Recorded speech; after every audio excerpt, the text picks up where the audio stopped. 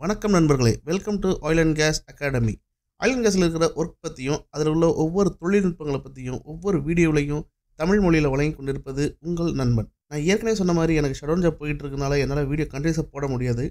மேலும் video prepare பண்ணி போடுறதுக்கு கொஞ்சம் டைமும் தேவைப்படுது. ஸோ இனிமேல் வீக்லி ஒரு வீடியோ போடுறேன். ஸோ நிறைய பேர் கமெண்ட்ஸில் கேட்டிருந்தீங்க. சீக்கிரம் வீடியோ போடுங்கன்னு சொல்லிட்டு பிரதர் கேட்டிருந்தாரு. என்னால் முடிஞ்ச வரை நான் ட்ரை பண்ணி கிடைக்கிற டயத்தில் நான் ப்ரிப்பேர் பண்ணி போடுறதுக்கு கொஞ்சம் டைம் தேவைப்படுது பிரதர் ஸோ அதை நான் இங்கே சொல்லிக்கிறேன்.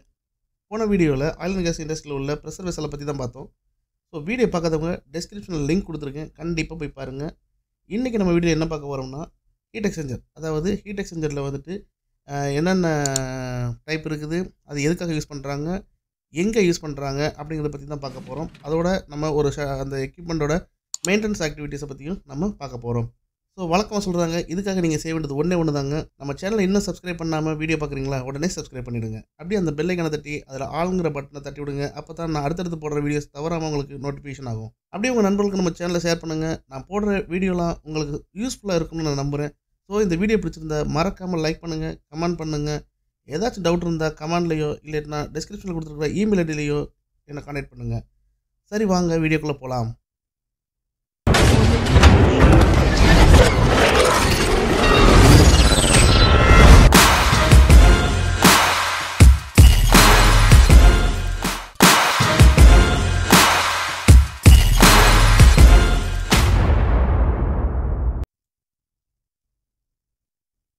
What is heat exchanger?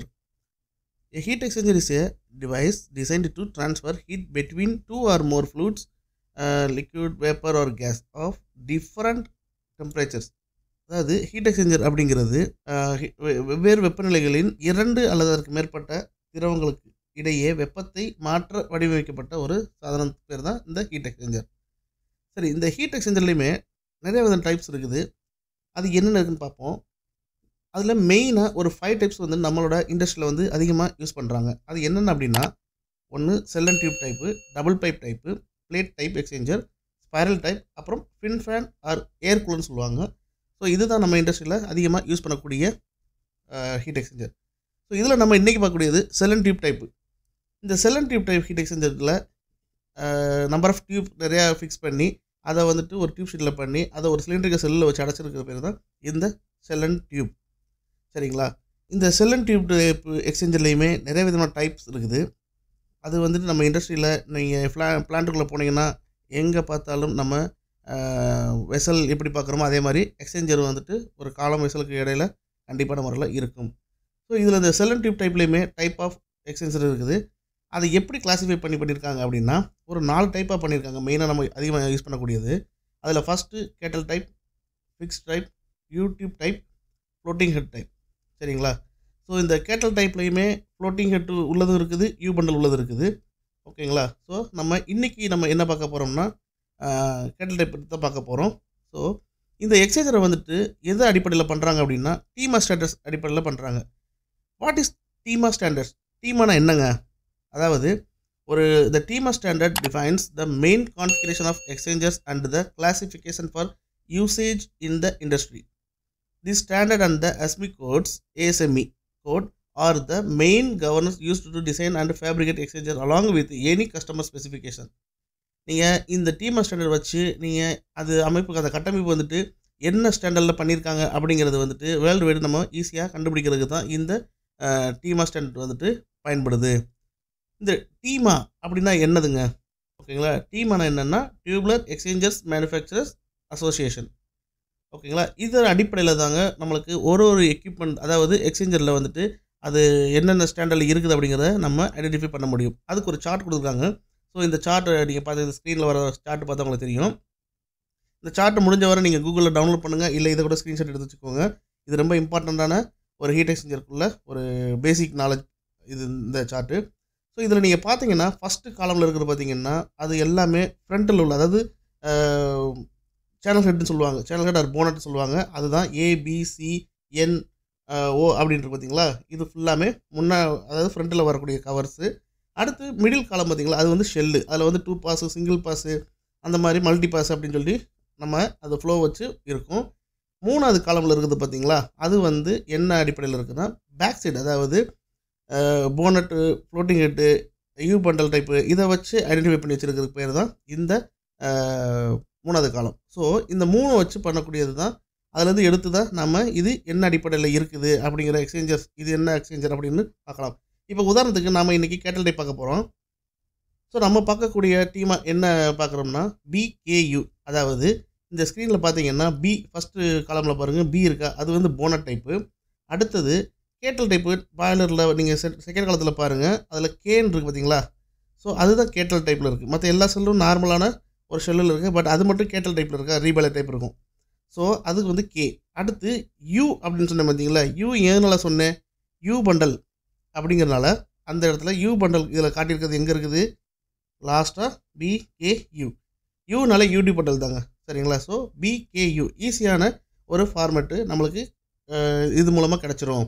So இதன் அடிப்படையில் தான் எக்ஸ்சேஞ்சர் இருக்குது. ஏன்னா நம்ம வெளிப்புறம் பார்க்கும்போது அது இன்சுலேஷனால் ஃபுல்லாக நிரப்பியிருக்கும். அதில் நமக்கு ஐடென்டிஃபை பண்ண முடியாது. பட் இதில் நம்ம ஈஸியாக பார்த்துக்கலாம். ஸோ இப்போ நீங்கள் இன்டர்னல் பார்ட்ஸை பார்த்தீங்கன்னா இப்போ நான் இந்த படத்தை காட்டியிருக்கிறது தான் கெட்டல் டைப் ஹீட் எக்ஸ்சேஞ்சரோட கிராஸ் செக்ஷனல் ட்ராயிங்கு இதில் நீங்கள் பாருங்கள் ப்ளூ கலரில் இருக்கிறது பார்த்தீங்கன்னா நாசல்ஸ் இருக்குது. ஸோ அது வந்து சேனல் சேனல் சைடு இருக்கிறது வந்து டியூப் இன்லெட்டு டியூப் அவுட்லெட் அப்புறம் செல் சைடு இருக்கிறது மேலே இருக்கிறது வந்து வேப்பர் அவுட்லெட் அவுட்லெட்டு கீழே இருக்கிறது லிக்யூட் இன்லெட் ஓகேங்களா எல்லோ கலர் இருக்குது பண்டல் அந்த பண்டலில் வந்து ஃப்ளான்ச் மாதிரி இருக்குது பார்த்தீங்களா? டியூப் ஷீட்டு அது வந்து டியூப் ஷீட் அப்புறம் சப்போர்ட் சேடல் இருக்குது அப்புறம் பெடஸ்டல் இருக்குது. சென்டர் உள்ளே பாருங்கள் ஒரு வேர் பிளேட் இருக்கும்.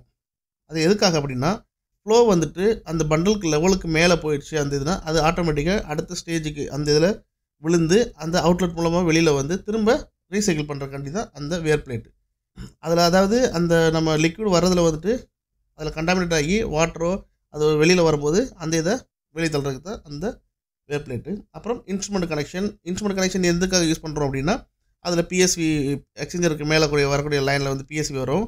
ஓகேங்களா எல்ஜி எல்டி யூஸ் பண்ணுறோம் ஸோ அந்த இதுக்காக தான் இந்த இன்ஸ்ட்ருமெண்ட் கனெக்ஷன் லைன் ஓகே இதுதான் கேட்டல் டைப் ஹீட் எக்ஸ்சேஞ்சரோட அமைப்பு. இப்போது இந்த கேட்டல் டைப் எக்ஸ்சேஞ்சர் பார்த்தா உங்களுக்கே ஒரு ஐடென்டிஃபை பண்ண தெரியும் நம்பர் என்னென்னு. சரி இந்த ஹீட் எக்ஸ்சேஞ்சரை பொறுத்தளவு அது எப்படி ஃப்ளோ ஆகுதுன்னு பார்த்தீங்கன்னா இப்போது உதாரணத்துக்கு நாம் இங்கே என்ன பண்ணுறோம் அப்படின்னா டியூப் சைடில் வந்து ஸ்டீம் கொடுத்து காலம் அதாவது காலத்தில் இருந்து வரக்கூடிய லிக்யூட் ஒரு அமைன் எக்ஸாம்பிள் அமைன் எடுத்துக்கிடுவோம். அமைன் வந்துட்டு செல்லு வழியாக நம்ம விட்டுறோம். பாட்டம்லேருந்து செல்லு வழியாக விட்டோம்னா அது ஃபுல் உள்ளே ஃபுல்லாகி மேலே கூடி வந்து திரும்ப அது ரீசைக்கிள் ஆகுது. அதை கூல் பண்ணுறதுக்கு இல்லை ஹீட் பண்ணுறதுக்கு யூஸ் பண்ணுறோம் ஏன் அப்படின்னா இங்கே வந்துட்டு ஹீட்டர் மூலமாக நம்ம ஸ்டீம் கொடுக்குறோம். ஸ்டீம் ஆர் ஹாட் தெர்மல் கொடுப்பாங்க. நம்ம இங்கே ஸ்டீம் கொடுக்குறோம். ஸ்டீம் மூலமாக பண்ணுறோம் ஓகேங்களா ஸோ அதிலேருந்து வரக்கூடியது மறுபடியும் அது டெம்பரேச்சரை மெயின்டைன் பண்ணிக்கிட்டே காலத்துக்கு அனுப்பிட்டுக்கிட்டு இருக்குது ஓகேங்களா? ஸோ இதுதான் பேசிக்கான ஒரு ஃப்ளோ உள்ளது. இப்போ இந்த வீடியோவில் பார்த்தீங்கன்னா உங்களுக்கே தெரியும். இதுலேயுமே இந்த ஃப்ளோ போகிறது வந்து பேஃபல் மூலமாக எப்படி போயிட்டு வருதுங்கிறது உங்களுக்கு கிளியராக தெரியும். டியூப் சைடு போகிறது வந்துட்டு ஸ்டீமு செல் வழியாக போகிறது வந்து அமைன் ஓகேங்களா? ஸோ இதுதான் இந்த ஹீட் எக்ஸ்சேஞ்சருக்குள்ளே போகக்கூடிய ஃப்ளோ ஓகே அடுத்து இது பாருங்கள் இந்த ஹீட் எக்ஸ்சேஞ்சரில் வந்துட்டு எப்படி மெயின்டெனன்ஸ் பண்ணுறாங்க ஓகேங்களா? அந்த மெயின்டெனன்ஸ் ஆக்டிவிட்டி என்னென்ன அப்படிங்கிறத நாம் இப்போ பார்ப்போம். ஏன்னா மெயினாக நம்ம ஒரு எக்ஸ்சேஞ்சர் எடுத்துக்கிட்டோம்னா நம்ம ஜாப் ஸ்கோப் கொடுத்துருவாங்க. அந்த ஸ்கோப் வச்சு நாம் எப்படி அதை வந்து எக்ஸிக்யூட் பண்ண போகிறோம் அப்படிங்கிறது தான் மெயின் பட் இவன் இதுவரை பார்த்தது பேசிக்காக அந்த எக்யூப்மெண்ட்டில் உள்ள நேம்ஸ் அண்ட் பார்ட்ஸை பற்றி நம்ம பார்த்தோம். ஓகேங்களா? இப்போது எப்படி மெயின்டெனன்ஸ் ஆக்டிவிட்டி பண்ண போகிறோம் அப்படிங்கிறத நம்ம பார்க்கலாம். ஓகே ஃபஸ்ட்டு பார்த்தீங்கன்னா பிளைண்டிங் பண்ணுறோம் ஓகேங்களா ஸோ ஆப்வியஸ்லி நமக்கு வந்துட்டு ஒரு எக்யூப்மெண்ட் வந்து ஐசோலேட் பண்ணுறதுக்கு பிளைண்டிங் வந்து கண்டிப்பான முறையில் தேவைப்படும். அடுத்து சேனல் ஹெட் அதாவது போன் போனட் சேனல் ஹெட் ரிமூவ் பண்ண போகிறோம் ஃபியூ பண்டல் ரிமூவ் பண்ண போகிறோம் அடுத்து ஷெல்லை வந்து இன்டர்னல் சைடில் க்ளீன் பண்ணி இன்ஸ்பெக்ஷன் பண்ண போகிறோம் இன்கேஸ் என்ன ரிப்பேர் இருந்துச்சுன்னா அதை ரிப்பேர் பண்ண போகிறோம் அடுத்தது டியூப் பண்டல் ஹைட்ரோஜெட்டிங் பண்ணுறோம் ஓகேங்களா ஹைட்ரோஜெட்டிங் பண்ணி க்ளீனிங் பண்ணிவிட்டு அதுவும் இன்டர்னல் எக்ஸ்டர்னல் ரெண்டும் பண்ணிவிட்டு அதை இன்ஸ்பெக்ஷன் பண்ண போகிறோம் ஸோ மேபி அந்த இன்ஸ்பெக்ஷனில் வந்து நம்ம ஐரிஸ் அதாவது IRIS or ECT ECT means eddy current test ஓகேங்களா இந்த மாதிரி இன்ஸ்பெக்ஷன் பண்ணுவாங்க. எல்லா கிளியரன்ஸ் கிடச்சதுக்கப்புறம் டியூப் பண்டல் இன்ஸ்டாலேஷன் அப்புறம் இன்ஸ்டால் பண்ணதுக்கப்புறம் என்ன பண்ணுவோம் அப்படின்னா செல் சைடு ஹைட்ரோ டெஸ்ட் பண்ணுவோம் இன்கேஸ் டியூப் லீக் ஏதாச்சும் இருந்துச்சுன்னா நம்ம அந்த இடத்துல ப்ளக்கிங் பண்ணுவோம். Okay so after channel header bonnet வந்து ரீஇன்ஸ்டாலேஷன் பண்ணிவிட்டு டியூப் சைடு ஹைட்ரோ டெஸ்ட் பண்ணுவோம். டியூப் சைடு ஹைட்ரோ டெஸ்ட் பண்ணுறது பண்ணி முடிச்சதுக்கப்புறம் ஃபைனலாக கிளியரன்ஸ் முடிச்சதுக்கப்புறம் டீப் லைண்டிங் பண்ணுவோம்.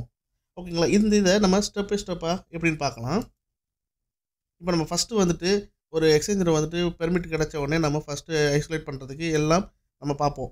பிளைண்டிங் பண்ணுறதுக்கு ஸோ நமக்கு சூட்டபிள் பிளைண்ட்ஸ் அதாவது இன்லெட் சைடில் டியூப் இன்லெட் அவுட்லெட் அப்புறம் செல் இன்லெட் செல் அவுட்லெட் அது போக எக்ஸ்சேஞ்சரோட அட்டாச்மெண்ட்டில் நம்ம பிளைண்டிங் பண்ணணும். ஓகேங்களா? இப்போது அதுக்கு தேவையான பிளைண்ட்ஸ் நம்ம எடுத்து வச்சுட்டு இப்போது tube side and shell side நம்ம பிளைண்டிங் பண்ணுறோம் ஓகே ஓகே இப்போ நம்ம பிளைண்டிங் பண்ணியாச்சு. இப்போ அதை பிளைண்டிங் பண்ணதுக்கப்புறம் அடுத்து நம்ம என்ன பண்ணுவோம்? ஸோ தேவையான இதுக்கெலாம் ஐசோலேட் பண்ணி முடிச்சதுக்கப்புறம் டியூப்பில் அசோசியேட்டட் ஸ்பூல்லாம் கழட்டிட்டு அடுத்து சேனல் ஹெட்டை ரிமூவ் பண்ண போகிறோம் சேனல் ரிமூவ் பண்ணிவிட்டு அதில் உள்ள கேஸ் கட்டை வந்து ரிமூவ் பண்ணுறோம் இது இந்த கேஸ் கட் இருந்தால் ஜாக்கெட்டை ஜாக்கெட் டபுள் ஜாக்கெட் டைப்பாக இருக்கலாம். இல்லாட்டினா அந்த கேஸ் கட் வந்துட்டு ஸ்பேரலாகவும் இருக்கலாம். இது வந்து வித் பார்ட்டிஷனில் இருக்கும். ஓகேங்களா? சிங்கிள் பாஸாக இருந்து இருந்துச்சுன்னா இருந்தாலும் மல்டி பாஸ் இருந்தாலும் உள்ளே வந்து பார்ட்டிஷன் ஒரு டீ பார்ட்டிஷனோ இல்லைன்னா ஐ பார்ட்டிஷன் மாதிரி ஒரு ரிப்பு வச்சு இருக்கும். ஓகே.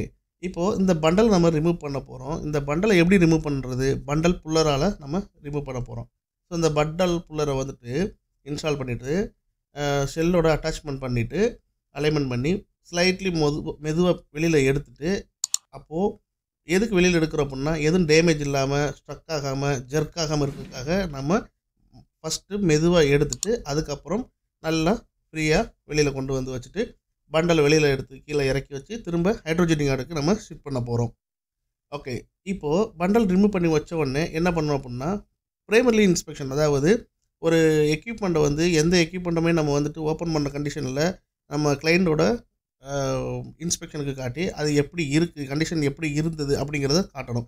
ஸோ அப்போ தான் அவங்களால அடுத்து என்னென்ன ஆக்டிவிட்டி அதில் பண்ணலாம் அதாவது என்னென்ன ரிப்பேர் ஒர்க்ஸ் ஒர்க்ஸ் இருக்குது அப்படிங்கிறத அவங்களும் நோட் பண்ணி அதுக்கேற்ற மாதிரி பண்ணுவாங்க.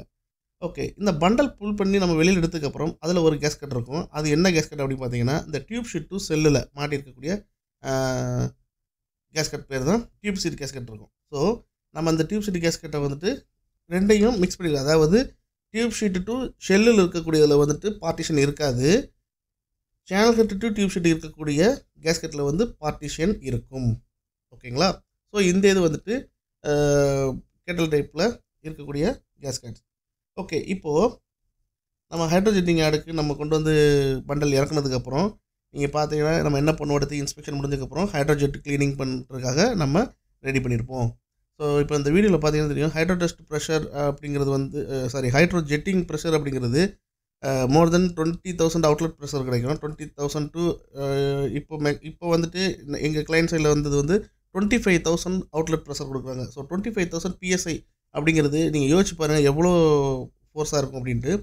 ஸோ அவ்வளோ ஃபோர்ஸ் கொடுத்து நம்ம க்ளீன் பண்ணால் மட்டும்தான் அந்த எக்ஸ்சேஞ்சர் பண்டலில் உள்ள டெப்ரிஸ் அப்புறம் இருக்கக்கூடிய அந்த ஸ்லெட்ஜ் எல்லாமே நம்மளால் க்ளீனாக பண்ண முடியும். ஓகேங்களா? ஸோ பட் நம்ம எடுத்த உடனே டுவெண்ட்டி ஃபைவ் தௌசண்ட் கொடுக்க மாட்டாங்க. ஒரு ஒரு டியூப் திக்னஸ்க்கு ஏற்ற மாதிரி அந்த ப்ரெஷர் வந்துட்டு ஃபஸ்ட்டு கிராஜுவலி இன்க்ரீஸ் பண்ணி அதுக்கப்புறம் போகலாம் அப்படின்னா இன்ஸ்பெக்ஷனில் இருந்து சொல்லி அதை மேலே மேலே கிராஜுவலியாக கொஞ்சம் கொஞ்சமாக கூட்டி க்ளீன் பண்ணுற அளவுக்கு பண்ணுவாங்க. ஓகேங்களா? ஓகே ரைட் இப்போ இந்த வீடியோவில் பார்த்தா உங்களுக்கே தெரியும். எவ்வளோ தூரத்துக்கு ப்ரெஷர் வருதுன்ட்டு. ஸோ ஃபஸ்ட்டு நம்ம இன்டர்னல் டியூப் இன்டர்னல் பண்ணிவிட்டு எல்லா டியூப் க்ளீன் பண்ணி எடுத்துகிட்டு டியூப் ஃபுல்லாமே இன்டர்னல் எல்லாம் எடுத்து முடிச்சதுக்கப்புறம் எக்ஸ்டர்னல் க்ளீனிங் பண்ணுவாங்க. எக்ஸ்டர்னல் க்ளீனிங் முடிச்சதுக்கப்புறம் நம்ம பண்டலை வந்துட்டு இன்ஸ்பெக்ஷனுக்கு நம்ம ஆஃபர் பண்ணுவோம். ஸோ இன்ஸ்பெக்ஷன் ஆஃபர் பண்ணிவிட்டு அதில் இன்கேஸ் நம்மளுக்கு ஏதாச்சும் ஐரிஸ் பண்ணுறதோ இசிடி பண்ணும்போதோ வேறு ஏதாச்சும் டியூப் திக்னஸ் வந்து ஆயிடுச்சுன்னா அதுலேயே நம்ம பார்த்து அந்த டியூபை வந்து ப்ளக் பண்ணிடுவோம் ஓகேங்களா? ப்ளக் பண்ணுற மீன்ஸ் ஒரு சில பண்டலில் வந்து பாப்பப் ப்ளக் பண்ணுவாங்க. ஒரு சிலதில் வந்துட்டு ப்ளக் டேப்பர் ப்ளக் அடித்து அதை வெல்ட் சீல்டு வெல்ட் பண்ணுவாங்க. ஓகேங்களா ஸோ அது நம்ம இந்த ப்ளக்கிங் இதை வச்சு ஒரு வீடியோவில் நம்ம பார்க்கலாம்.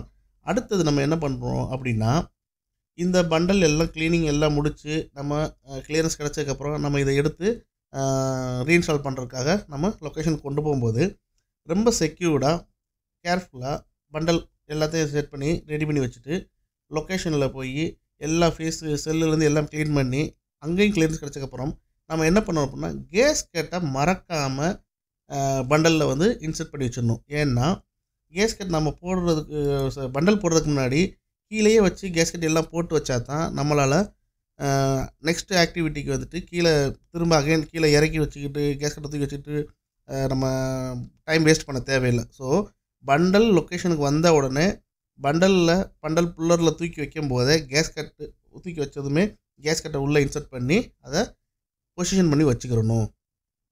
ரைட் இப்போது ஷெல் உள்ள பண்டல் இன்ஸ்டாலேஷன் ரீஇன்ஸ்டாலேஷன் பண்ணலாம் அப்படின்ட்டு கிளியன்ஸ் கிடைச்ச உடனே நம்ம ரீஇன்ஸ்டாலேஷன் பண்ணுறோம் ரீஇன்ஸ்டாலேஷன் பண்ணும்போதும் சேம் மெத்தட் தான் பண்டல் புல்லரை வச்சு அதோட ஷெல்லில் வந்து லாக் பண்ணிவிட்டு ம அதோட ஓரியன்டேஷன் நம்ம மார்க்கிங் பண்ண இடத்துல மேட்ச் பண்ணி பண்டலை வந்து உள்ளே இன்சர்ட் பண்ணுறோம் ஸோ இன்சர்ட் பண்ணும்போது கேஸ் கட்டை வந்துட்டு கேர்ஃபுல்லாக நம்ம அதில் சீட் ஆகிற மாதிரி பார்த்துக்கிறணும் ரைட் இப்போது பண்ணிவிட்டு பண்டல் வந்து இன்ஸ்டால் பண்ணியாச்சு. இப்போ அடுத்து என்ன ஆக்டிவிட்டி அப்படின்னு பார்த்தீங்கன்னா இது ஹைட்ரோஸ் தான் பண்ணணும். ஓகே இப்போது இதில் இன்னொரு ஒரு முக்கியமான ஒரு விஷயம் இருக்குது. அதாவது பண்டல் அதாவது bundle to sorry shell to bundle இதில் வந்துட்டு காலர் போல்டு காலர் போல்டுன்னு இருந்ததுன்னா நம்மளுக்கு வந்துட்டு செல் செல் டெஸ்ட் பண்ணும்போது அதுக்கு வந்து நமக்கு டெஸ்டிங் தேவையில்லை. கலர் போல்டு இருந்தால் ஓகேங்களா பட் கலர் போல்டு இல்லாத பட்சத்தில் நாம் டெஸ்டிங் யூஸ் பண்ணி தான் ஆகணும். ஸோ அந்த டெஸ்டிங் யூஸ் பண்ணோம்னா கேட்டல் டைப் எக்ஸ்சேஞ்சரை பொறுத்தளவு போனட்டில் இருந்ததுன்னா டெஸ்டிங் யூஸ் பண்ணால் கண்டிப்பான முறையில் தேர்ட் டெஸ்ட் பண்ணணும். அதாவது இன்டிகிரிட்டி டெஸ்ட்டும் பண்ணணும். ஏன் அப்படின்னா கலர் போல்டு இருந்துச்சுன்னா அந்த பண்டலை ஹோல்டு பண்ணி வச்சுக்கிறோம். ஸோ நம்மளுக்கு செல் டெஸ்ட் முடிச்சதுக்கப்புறம் அந்த பண்டலை நம்ம போல்டு எல்லாத்தையும் கழட்டிட்டு சேனல் இன்ஸ்டால் பண்ணும்போது பண்டல் வந்துட்டு கேப் கிடைக்காது. ஸோ நம்ம வந்துட்டு சேஃப்டாக சே சேஃப்லி நம்ம சேனல்கிட்ட வந்து இன்ஸ்டால் பண்ணிடலாம். ஆனால் காலர் போல்டு இல்லாத பட்சத்தில் டெஸ்டிங் போட்டு நம்ம பண்ணதுக்கப்புறம் டெஸ்டிங்கை கலட்டி போல்டு லூஸ் பண்ணி எடுக்கும்போது கண்டிப்பான முறையில் பண்டலுக்கும் ஷெல்லுக்கும் நடுவில் கேப் மைல்டாக வரும். அது நமக்கு தெரியாது பட் கேப் விழுந்துருச்சுன்னா திரும்ப நம்ம ப்ராசஸ் நடக்கும்போது அது லீக் ஆகக்கூடியதுக்கு சான்சஸ் இருக்குது. ஸோ அதனால் மூணாவது ஒரு டெஸ்ட் பண்ணி ஆகணும். அதாவது செல்லும் டியூப்பும் ரெண்டும் இன்ஸ்டால் பண்ணி முடிச்சதுக்கப்புறம் டார்க்கிங் ஆஃப்டர் டார்க்கிங் அப்புறம் மூணாவது டெஸ்ட் பண்ணணும். ரைட் இப்போ இந்த ஹைட்ரோ டெஸ்ட் பண்ணுறதுக்கு என்னென்ன வேணும் அப்படின்னு பார்த்தீங்கன்னா அதாவது ஹைட்ரோ டெஸ்ட் பண்ணுறதுக்கு ஃபிட்டிங்ஸ் அதாவது அவுட்லெட்லேயும் இன்லெட்லேயும் போடக்கூடிய நம்ம ஹைட்ரோ டெஸ்ட் ஃபிட்டிங்ஸ் வேணும். இதில் அவுட்லெட்ஸ் இல்லை வந்துட்டு ஒரு பிஆர்வி நம்ம யூஸ் பண்ணுறோம் எதுக்காக பிஆர்வி யூஸ் பண்ணுறோம் அப்படின்னா இன்கேஸ் ப்ரெஷர் வந்துட்டு நம்ம கொடுக்கக்கூடிய ஹைட்ரோடெஸ்ட் ப்ரெஷரை விட டெஸ்ட் ப்ரெஷரை விட அதிகமாயிடுச்சுன்னா ஆட்டோமேட்டிக்காக அந்த எக்யூப்மெண்ட் வந்துட்டு பிளாஸ்ட் ஆகாமல் இருக்கிறதுக்காக இந்த பிஆர்இ மூலமாக வெளியில் நம்மளுக்கு அந்த ப்ரெஷர் ரிலீஸ் ஆகிடும் ஸோ நம்ம எக்யூப்மெண்ட்டுக்கு எது டேமேஜ் ஆகாது. ஸோ அதுக்காக நம்ம இதை யூஸ் பண்ணுறோம் இப்போ இந்த இதில் பார்த்தீங்கன்னா அவுட்லெட் ஃபிட்டிங்ஸ் அப்புறம் ஹைட்ரோடெஸ்ட் பம்ப் வந்துட்டு நியூமேட்டிக்கில் இருக்கக்கூடிய இந்த பம்ப் பார்த்தீங்கன்னா ஹை ப்ரெஷருக்காக யூஸ் பண்ணக்கூடிய ஹை ப்ரெஷர் மீடியம் ப்ரெஷருக்கு யூஸ் பண்ணக்கூடிய ஒரு பம்பு தான். இந்த பம்ப்பு இது பக்கத்தில் இருக்கக்கூடிய பை ஹேண்ட் மூலமாக யூஸ் பண்ணுறது இது ஹேண்ட் பம்ப் ஹைட்ரோடஸ் பம்பு தான். இதுவும் லோ அண்ட் மீடியத்துக்கு வந்து யூஸ் பண்ணக்கூடிய ஒரு ஹைட்ரோடஸ் பம்பு தான். சம்டைம் இது ஹண்ட்ரட் பார் கூட யூஸ் ஆகுங்க. அவ்வளோ ஒரு கெப்பாசிட்டி இது நல்ல ஒரு சூப்பர் பம்ப் இது. பர்சனலி நான் யூஸ் பண்ணியிருக்கேன். ஸோ அதனால் இது நல்ல பம்ப் இந்த மாதிரி யூஸ் பண்ணுறது ரொம்ப நல்லாயிருக்கும் ஓகே ஸோ இப்போ நம்ம வந்துட்டு ஃபிட்டிங்ஸ் எல்லாம் ஃபிட் பண்ணியாச்சு. செல் சைடுக்கு வந்துட்டு வாட்டர் ஃபில் பண்ணிடுறோம் வெண்ட் வெண்ட் எல்லாமே எடுத்ததுக்கப்புறம் வாட்டர் ஃபில் ஆகுது. ஃபில் ஆகிட்டு நம்ம டெஸ்ட் முடிச்சதுக்கப்புறம் அங்கே இன்கேஸ் ஏதாவது டியூப் லீக் இருந்தால் இப்போ இந்த படத்தில் நீங்கள் பார்த்தீங்கன்னா தெரியும். ஒரு டியூப்பில் வந்துட்டு லீக் லீக் ஆன பிக்சர் பார்த்தீங்கன்னா உங்களுக்கு தெரியும். ஸோ அதில் லீக் ஆனால் நம்ம அந்த டியூப்பை வந்துட்டு மார்க் பண்ணி போத் எண்டு அதாவது அந்த tube U bend U tube அப்படிங்கிறனால ஒன் இந்த அந்த டியூபோட ரெண்டு எண்டுலையுமே நம்ம வந்து ப்ளக் அடிக்கணும். ப்ளக் அடிச்சுட்டு ஆஸ் பர் கிளைண்ட்டு ரெக்கமெண்டேஷன் என்னவோ அதுக்கேற்ற மாதிரி uh, எக்ஸ்பெண்ட் பண்ணாலும் சரி இல்லைன்னா சீல்டு வெல்டு பண்ணிவிட்டு ஹைட்ரோ டெஸ்ட்டு பண்ணணும். திரும்ப ரீ ஹைட்ரோ டெஸ்ட் பண்ணணும். ஏன்னா அகைன் அந்த uh, வெல்ட் அடிச்சதில் வந்து லீக் இருக்கா என்னென்னு பார்க்குறதுக்காக நம்ம அந்த இது டெஸ்ட் பண்ணணும். ஓகே ஸோ இது செல் டெஸ்ட் முடிஞ்சிருச்சு டியூப் ப்ளக்கிங் பண்ணியாச்சு ரிப்பேர் ஒர்க்கும் முடிஞ்சிருச்சு. அடுத்து நம்ம என்ன பண்ண போகிறோம் அப்படின்னா uh, நம்ம டியூப் டெஸ்ட் பண்ண போகிறோம் ஸோ டியூப் டெஸ்ட் பண்ணுறதுக்கு நம்ம என்ன பண்ணணும்? ஃபஸ்ட்டு சேனல் ஹெட்டை இன்ஸ்டால் பண்ணுறோம் சேனல் ஹெட்டை இன்ஸ்டால் பண்ணி டார்க்கிங் எல்லாம் முடிச்சதுக்கப்புறம் அங்கே ஸ்பூ அந்த சேனல் ஹெட் நாசிலில் இன்லெட் அவுட் சைடு அவுட்லெட் சைடில் ஃபிட்டிங்ஸ் ஃபிட் பண்ணி வாட்டர் ஃபில் பண்ணுறோம் ஓகேங்களா? ஸோ இதே மாதிரி செல் டெஸ்ட்டில் எப்படி பண்ணமோ அதே மாதிரி டியூப் சைட் டெஸ்ட்லேயும் பண்ணினதுக்கப்புறம் டியூப் எதுவும் லீக் இல்லைன்னு சொன்னதுக்கப்புறம் கிளியன்ஸ் கிடச்சதுக்கப்புறம் நாம் நம் ஸ்கூலில் உள்ள ஃபிட்டிங்ஸு டெஸ்ட் பிளைன்ஸு இந்த டெஸ்ட் ஸ்பேடு இது எல்லாத்தையுமே நாம் ரிமூவ் பண்ணிடுறோம். ஓகேங்களா? ஸோ இது ரிமூவ் பண்ணிவிட்டு இப்போது நம்ம என்ன பண்ணணும்? எல்லா ஜாப் முடிஞ்சதுக்கப்புறம் டீப்ளைண்டிங் டீப்ளைண்டிங் அப்படிங்கிறது ஃபைனலாக ஃபேஸ் எல்லாத்துலேயும் நியூ கேஸ்கெட் போட்டு டீப்ளைன் பண்ணுறது தான் இந்த டீப்ளைண்டிங் டீப்ளைண்டிங் முடிச்சதுக்கப்புறம் டார்க்கிங் பண்ணிவிட்டு நம்ம எக்யூப்மெண்ட்டை வந்துட்டு ஹேண்ட் ஓவர் பண்ணலாம். ஓகேங்களா? ஸோ இதுதான் நம்மளுக்கு நம்ம ஃபீல்டில் பொறுத்தளவு ஒரு கேட்டல் டைப் எக்ஸ்சேஞ்சரில் மெயின்டெனன்ஸ் ஆக்டிவிட்டி இந்த மெத்தடில் தான் நம்ம பண்ணுவோம். ஸோ இந்த வீடியோ உங்களுக்கு பிடிச்சிருக்கு நான் நம்புகிறேன் கண்டிப்பாக பிடிச்சிருந்தா லைக் பண்ணுங்கள் கமெண்ட் பண்ணுங்கள் ஷேர் பண்ணுங்கள் அப்படியே அவங்க ஃப்ரெண்ட்ஸுக்கு சொல்லி நம்ம சேனலை சப்ஸ்கிரைப் பண்ண சொல்லுங்கள் தேங்க்யூ மீண்டும் சந்திப்போம்.